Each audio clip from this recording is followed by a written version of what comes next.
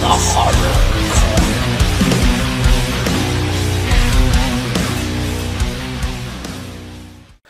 Good evening, folks, and welcome to the Horror Corner. I'm your host, Sean Patrick Erschen, and this week we are doing my horror movie collection, Volume 6. Yes, it's been quite a while since I've done one of these, and I've amassed quite a few horror films in my collection since the last time, for sure. Um, yeah, all about physical media for me, you know, guys. uh, I can only stream so much, you know. Uh, you just can never find something you want on the streaming networks all the time, you know. Gotta have the physical media. So we're gonna start off with the slashers. Oh, and here's a real old school one. This is one of the video nasties uh, from the 70s, the late 70s. Uh, yeah, definitely a nasty one, and uh, a lot of the the best kills are towards the beginning, like the first uh, 15 minutes. Um, but it's well worth it.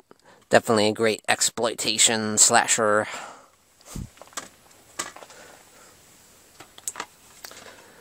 Next up is a very recent one, and uh, this one is directed by Deborah Voorhees, uh, who we uh, interviewed over at the Morbid Hour. Uh, she's, of course, starred in uh, Friday 13th Part 5, and this centers around a Friday 13th obsessed fan who has become a Jason style killer, you know. Next we have Blood Rage, which takes place on Thanksgiving, yeah. This is the only really good Thanksgiving slasher I can think of. I know there's that cheesy uh, Thanksgiving or whatever. uh, but this is an actual good film. Uh, the killer reminds me a lot of Patrick Bateman, the way he's so nonchalant about things. uh, killing for him is as easy as eating a piece of toast.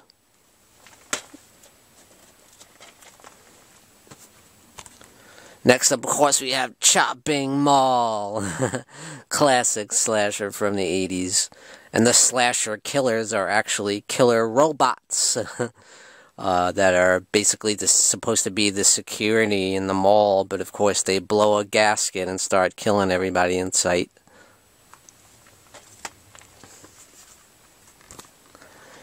Except we have Hell Night starring the great Linda Blair. Uh, in a great, very moody slasher film. Uh, it's also got great haunted house vibes to it as well. Uh, it's got a great gothic feel to it, like some of the old Hammer films.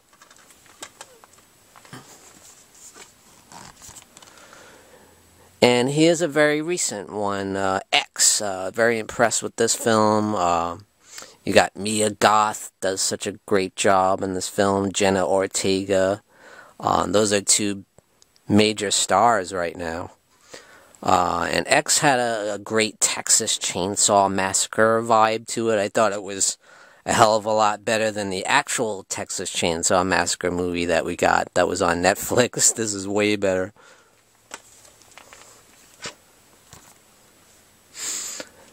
Next up is a film that uh, Full Moon 1973 turned me on to, and that's Gutterballs. Really fun, very over the top slasher film. Uh, it's brutal and it's silly, it's goofy, it's just wacky as hell, but it's a lot of fun.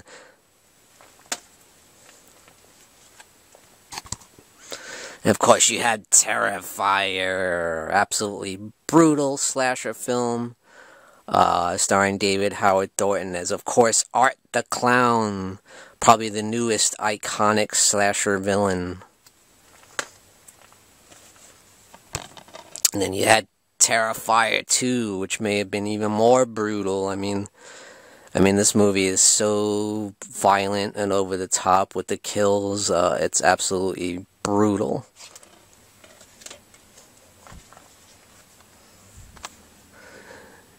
Then I got this Friday the 13th, you know, eight movie collection. I'm sure you've seen this all around. Uh, unfortunately, I can't afford the box set, you know. I've been wanting the box set of every, all the Friday 13th together for a long time, but you know, it never goes down in price. It seems to only go up in price, you know. It's it's just crazy. I don't think I'll ever get it.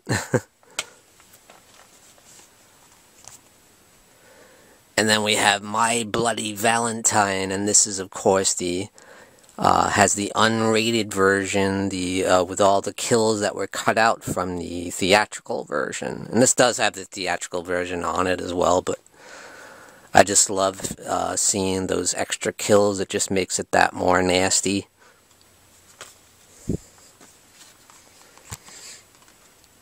And then we have Scream, the requel.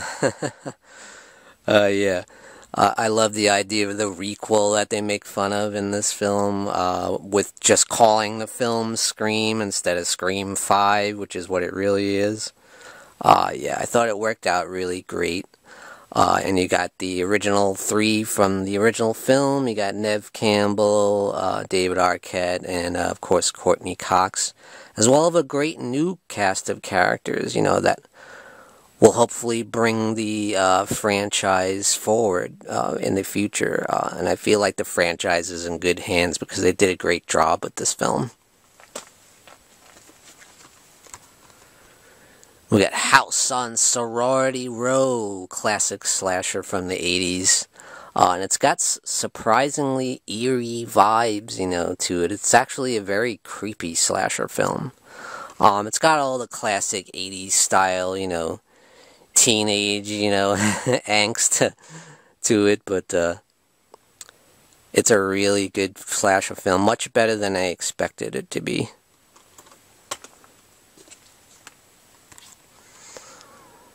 Slaughter High, starring Caroline Munro, uh, who is a high school student at one point, but she's about 35 when they film the movie, so it's kind of ridiculous.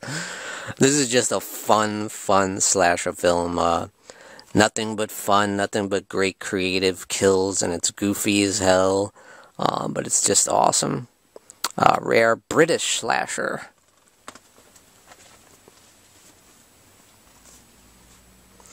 And we got Stage Fright, uh, which kind of crosses the line between Italian giallo film and uh, and 80s slasher film, uh, but I think it, it counts as both.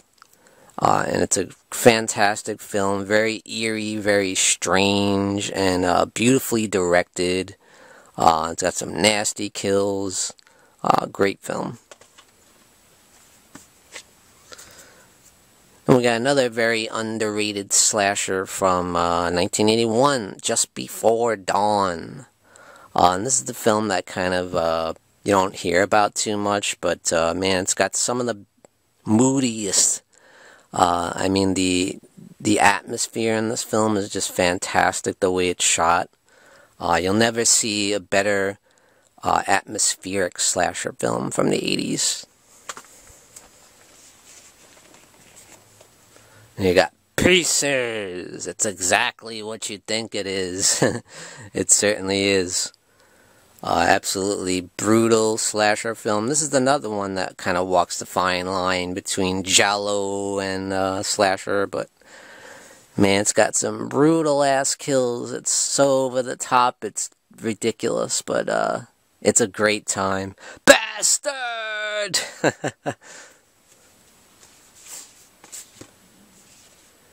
and of course, we got Halloween, and this is from the new trilogy.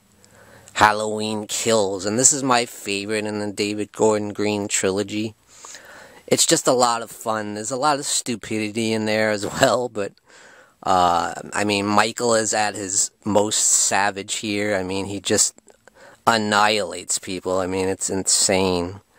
Um, I just think is the most fun. Uh, it's got the best kills, and appropriately titled Halloween Kills. And then, of course, you had Halloween Ends, uh, which, you know, I was very disappointed with. I mean, it has a lot of good qualities. It certainly was something different for the franchise, telling a different kind of story. uh, with the Corey character, uh, not focusing so much on Michael Myers like he did the last couple films. Uh, not even focusing that much on Jamie Lee Curtis either, but it was definitely different, and uh, I feel the the way it ended was justified, and it was the right way to end it. Uh, so in closing, overall, I thought it was pretty decent. It's definitely a film that you have to see if you're a Halloween fan, even if you don't like it. And then we got the Halloween 4K uh, releases, which are just fantastic. They look amazing. And this one I got signed by Nick Castle himself, baby, right there. These are great. I love these releases. They look fantastic, and I love the the box covers are amazing. Uh, just fantastic release. And Halloween 2, once again, looks great. I think there's like five discs in this thing. It's like crazy. Awesome, awesome stuff. I love Halloween 2. I can never say enough about it. And I love the covers. I love the art on the covers as well. It's just fantastic. Gives that great fall vibe, you know, the Halloween time. Putting you in the spirit of things. And of course, Halloween 3, Season of the Witch. Really cool cover there the black sheep of the Halloween franchise. Then again, you know, Halloween Ends could pass for that too. Halloween 4, The Return of Michael Myers. Such a great sequel. Bringing in Danielle Harris to the series as Jamie Lloyd. And of course, an, another awesome performance from Donald Pleasence as Dr. Loomis. Halloween 5, which never seems to get a lot of love, but uh, I love the film. I think it's got a lot of really cool stuff going on in it, and uh, I just really enjoy it.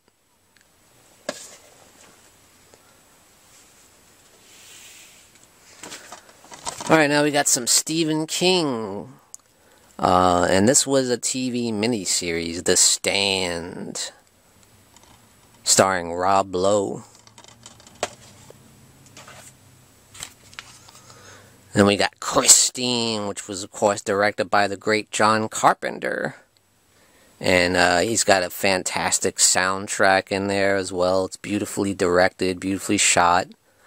Uh, yeah, one of the better Stephen King film adaptations for sure. And you got Cujo, one of my favorites, starring Dee Wallace. Definitely one of my favorite Stephen King films. And you got the werewolf one, and that is Silver Bullet, starring Corey Haim and Gary Busey in one of his finest roles. You got Deadly Friends, one of the most underrated Wes Craven films. And this is kind of the generic DVD that I got, but I did also get the Scream Factory version, which is just great. I love it. I absolutely love that cover. That is so damn cool. yeah, I love this movie, and I was so happy that they finally gave it the love it deserves uh, with this Blu-ray release here. I just love it. We got Quiet Place Part 2, uh, which is a great, great follow-up to the original, which I I think is one of the best modern horror films of all time. Uh, and yeah, once again, Emily Blunt is just absolutely magnificent in this movie. uh, the entire cast is brilliant, and uh, that's one of the things I love about this. It's not only is it scary with great tension and beautiful direction by John Krasinski, but the acting is just on a whole other level for horror, you know. Then we got House by the Cemetery, and this is a 4K release uh, the, of the Lucio Fulci classic, which is just such a great film, and it and it's just a great mashup of different genres. You got the zombie genre represented, you got the slasher genre represented, and you got the haunted house movie represented, all in one movie. And you got my favorite horror anthology film of all time, Creepshow. And this is a beautiful release. Uh, I got the hyped up release here. It's just great. A big step up from the old DVD I had. And this thing is just loaded with special features. Next up, we have a fantastic British horror film, one of the best ever made, and that is The Blood on Satan's Claw. It's a film you don't hear about too much, but it's it's such a great like folk horror film. Uh, it's just got that Wicker Man vibe to it, you know, that classic occult style horror. That's just great with uh, Linda Hayden. Uh, fantastic film. We got When a Stranger Calls. Definitely going into the old school slashers from the 70s. Uh, starring Carol Kane and Charles Durning. Uh, such a great film, and uh, many people will say it's got one of the scariest openings in horror history, and I can't deny that. Um, but I also enjoy the rest of the film, which is kind of the the chase of the killer and getting to know the killer, you know. Uh, and I find that really interesting. While some people might find that boring, but I love it. And of course, we got Reanimator. I finally got the hyped up Blu-ray from Arrow. Thank God, it's such it's such a great upgrade, uh, and I highly recommend it. Also upgraded my Hellraiser all I had was the old school DVD. Now I finally got the Arrow release, which is just fantastic. We got The Night of the Demons. Such a fun 80s horror film. Uh, of course, starring Linnea Quigley. Love that cover. This is the Steelbook Blu-ray. You're invited to my party, Angela. We got Happy Death Day to You, which I thought was a really good follow up to the original Happy Death Day. And uh, I'm still waiting for part three. What's going on with that? when are we going to get part three, damn it? Alright, guys, that's it for volume six of my horror movie collection. Yes. Uh, stay tuned for the next episode because we're definitely going to have a couple more um, because I got a lot of movies in my collection. Peace out, guys. Thank you for joining me, Sean Patrick Erschen, in the Horror Corner. Tune in and stay scared.